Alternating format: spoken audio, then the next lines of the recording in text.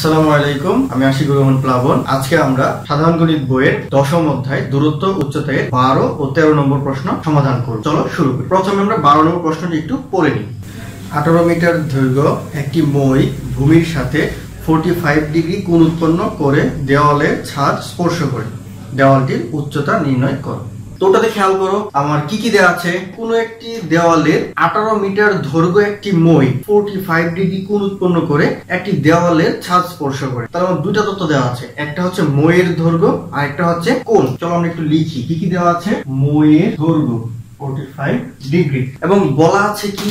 যে মইটি দেয়ালের সাথে 45 ডিগ্রি কোণ উৎপন্ন করছে। প্রথমে হচ্ছে আমরা কোণ দেখে আনুপাতিক চিত্র অঙ্কন করি। তো 45 ডিগ্রি ক্ষেত্রে কি হয় আমরা জানি? যে লম্ব আর ভূমি সমান হয়। লম্ব আর ভূমি সমান হয়। হয়ে গেল আমার 45 ডিগ্রি কোণের একটি আনুপাতিক চিত্র। এবার বলছে কি যে একটি দেয়ালের সাথে মই একটা কোণ করে আছে। তাহলে আমার দেয়ালটা যদি এ বি হয়, ধরে নিলাম দেয়ালটা এ বি, তাহলে মই কে? তাহলে মইয়ের দৈর্ঘ্য কি? আঠারো মিটার। এবং উচ্চতা আমার জানা নেই তাহলে উচ্চতা এইচ ধরে নিব। এবার এটাকে আমার গাণিতিক ভাষায় লিখতে হবে। কীভাবে লিখব? শুরু করি। মনে করি দেয়ালটির উচ্চতা এ বি সমান H metre.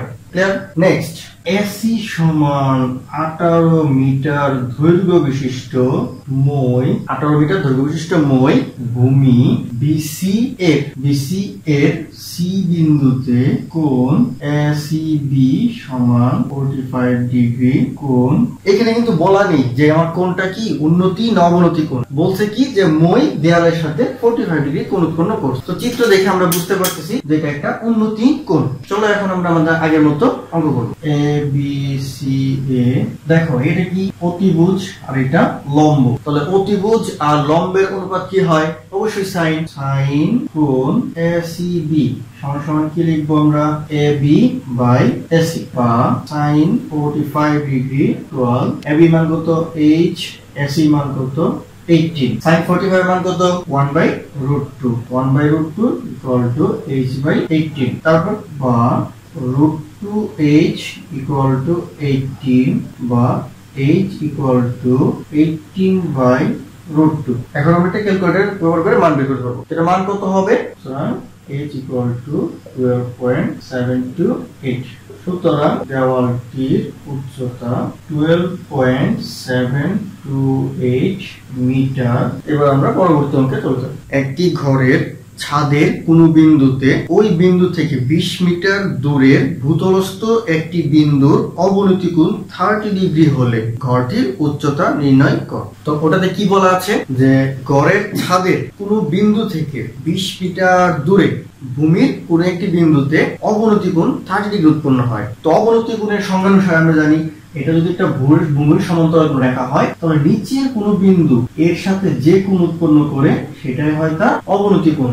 এই ফর্মুলাটা আমরা এখানে এপ্লাই করব। যে এটা হচ্ছে ভূমির সমান্তরাল একটা রেখা, আর এটা হচ্ছে আমার ভূমি। তো বলা আছে, ভূমির কোন বিন্দু থেকে, তো আমি ভূমির এই বিন্দুটা ধরলাম সি তো এইখান থেকে ঘরের ছাদের কোন বিন্দুতে, অর্থাৎ এইখান থেকে এই যে ঘরের ছাদ, সে বিন্দুতে একটা কোণ তৈরি করছে, সেটা হচ্ছে থার্টি ডিগ্রি এবং কি কোণ সেটা অবনতি কোণ ঠিক আছে? তাহলে এবার আমরা এই কোণের অনুপাতে চিত্রটি অঙ্কন করি। তো ওটা আমার তথ্য দিয়ে দেওয়া আছে, আমরা একটু এখানে লিখি। সেটা হচ্ছে অবনতি কোণ কত? থার্টি ডিগ্রি এবং বলছে একটা নির্দিষ্ট দূরে, আমার ডিবি হচ্ছে ঘরের ছাদ এসি হচ্ছে ভূমি। তো ডিবি এর বি বিন্দুতে, অর্থাৎ ঘরের ছাদের কোন বিন্দু থেকে ভূমির উপর সি বিন্দু সি বিন্দু ঘরের ছাদের সাথে থার্টি ডিগ্রি অবনতি কোণ তৈরি করছে। ঘরের ছাদের বি বিন্দুতে ভূতলের সি বিন্দু অবনতি কোণ ডিবিসি থার্টি ডিগ্রি আর কি বলা আছে? যে ওই বি বিন্দু থেকে ভূতলের বিন্দুটার দূরত্ব হচ্ছে টোয়েন্টি মিটার অর্থাৎ আমার এইটুকুর মান হচ্ছে বিশ মিটার তো আমার গ্রাফিক্যাল প্রেজেন্টেশন শেষ। এইখানে এ বি এর দৈর্ঘ্য হচ্ছে এইচ মিটার এটা আমরা ধরে নিব। এটা আমরা গাণিতিক ভাবে লিখি?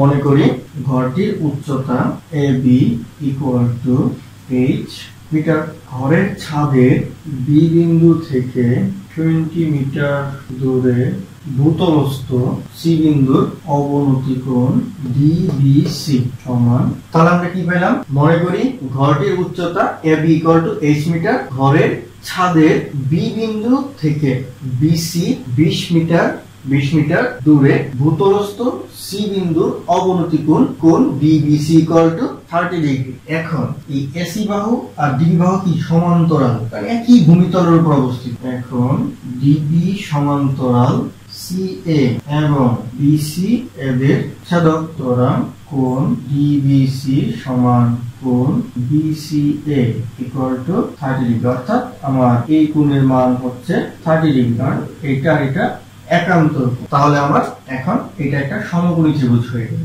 তাহলে আমরা লিখব সমকোণী ত্রিভুজ বি এ সি এ দেখো, আমার কি এখানে অতিভুজ দেওয়া আছে আর লম্ব দেওয়া আছে। তো অতিভুজ আর লম্ব বা লম্ব বাই অতিভুজ তাহলে কোন অনুপাত আসবে? সাইন কোন?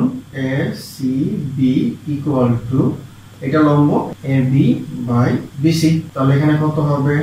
Sine thirty degree equal to A B কত? এইচ বিসি কত? টোয়েন্টি সাইন থার্টি মান কত? One by two one by two equal to H by twenty বা two H equal to twenty বা H equal to twenty by two সুতরাং H equal to ten তাহলে আমার ঘরটির উচ্চতা কত পেলাম টেন মিটার সুতরাং ঘরটির উচ্চতা। ধন্যবাদ সবাইকে আজকের ভিডিওটি দেখার জন্য।